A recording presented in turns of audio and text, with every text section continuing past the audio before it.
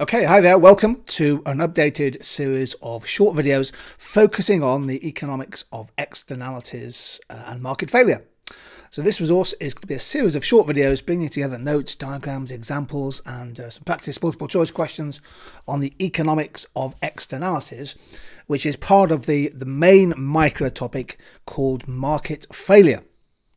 Now, market failure is a catch-all phrase for when the price mechanism uh, fails to allocate our scarce resources in an efficient or equitable, way. Uh, put put another way, it's when the, the operation of the free market, the price mechanism, leads to a net social welfare loss, and when the, the outcome of market activity between producers and consumers is not necessarily satisfactory from the point of view of society. So the main role of prices is to allocate resources efficiently, but basically market failure exists when the competitive outcome of markets is not efficient or equitable. Now, one of the main reasons, there are lots of potential causes of market failure, and of course, we have separate videos on each of these public goods, information gaps, market power, monopoly power, and immobility and inequality. But in this series of videos, we're going to focus on externalities, the economics of external costs and benefits. So, what are externalities? Well, probably the best definition is that externalities is any spillover effect either from production and or consumption for which no appropriate compensation is paid to one or more third parties. Third parties also called bystanders. So external costs, external benefits are known as spillover effects. Now a really, really important exam point. Market failure uh, occurs when the market price does not fully reflect the impact of negative and positive externalities. You see, externalities lie outside the initial market transaction between a producer and a consumer. And in fact, without some form of intervention in the market, uh, they're not reflected in the market price. So, what are the main types of externality to know about, to be able to analyse, and of course, crucially, to evaluate? Well, uh, some examples require you to have four types of externality, others less. Let's just quickly go through the four main types of externality. The first one is called a negative production externality.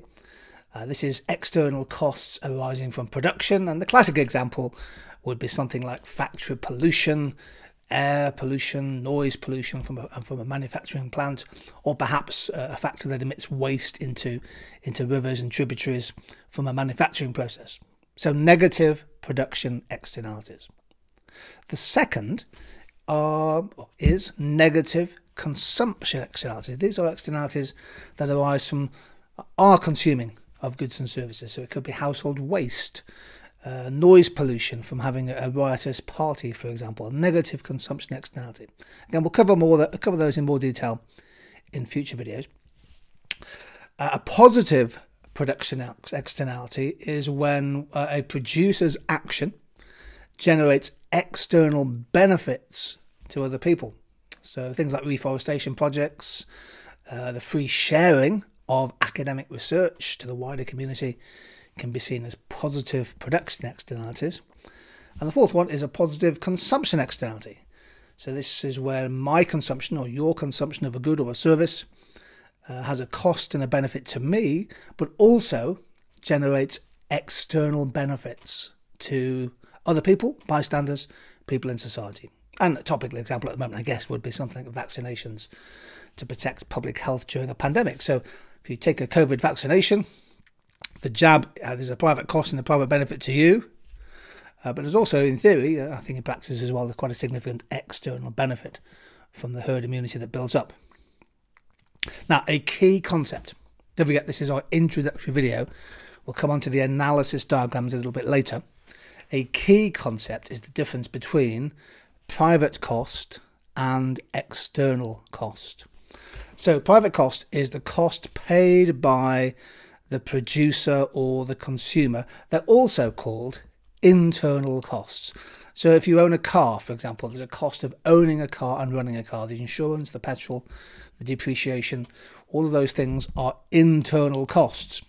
big debate at the moment about the internal cost, for example, of buying and running electric vehicles compared to petrol and diesel. The private cost is the cost internal to the producer or the consumer, whereas the external cost is the externality. So this is when uh, your production or consumption imposes an extra cost on the well-being of a third party, a bystander. And that means that social cost is greater than private cost. So what's the difference between private benefit and external benefit? Well, private benefit is the benefit, the satisfaction, the utility, the joy that an individual agent uh, gets from consuming or uh, from consuming goods and services. You enjoy a meal out, or enjoy watching a film, or what have you. Enjoy going on holiday. Uh, you enjoy a takeaway pizza. That's a private benefit.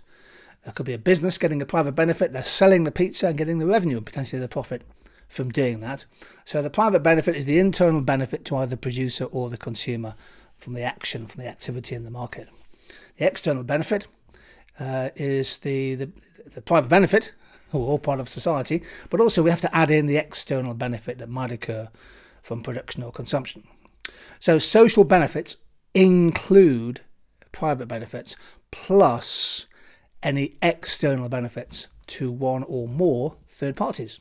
We sometimes call those bystanders. So, marginal private benefit is the benefit, the extra benefit, satisfaction, utility gained through consuming or producing an extra unit of a good or service. Marginal private cost is the cost to a producer or consumer from supplying or consuming one extra unit of a good or service. So how are private, external and social costs different? Quick summary coming up. Marginal private cost is the internal cost faced by the producer or the consumer directly involved in the transaction. It's the cost of the next unit to them. Marginal external cost is the external consequence of their actions. So pollution and congestion, for example. If we add the two together, if you add marginal private and external cost together, you get the marginal social cost, which is the total cost to society from producing consuming an extra unit. And social cost is private cost plus external cost. Really, really important. Social cost is private cost plus external cost. A marginal social cost is the marginal private cost plus the marginal external cost. Now, very quickly, it's very easy for students to confuse social cost with external cost. And multiple choice questions on this topic consider this common error. So, so just be careful. Social cost equals private cost plus external cost. In the next video, we're going to take a look at some examples of negative externalities from production and also from consumption.